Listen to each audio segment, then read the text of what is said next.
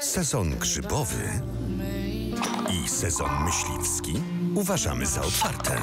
Do schabu czy kiełbasy idealne. Polskie sosy na łowy gotowe. Łowicz. Samo najlepsze.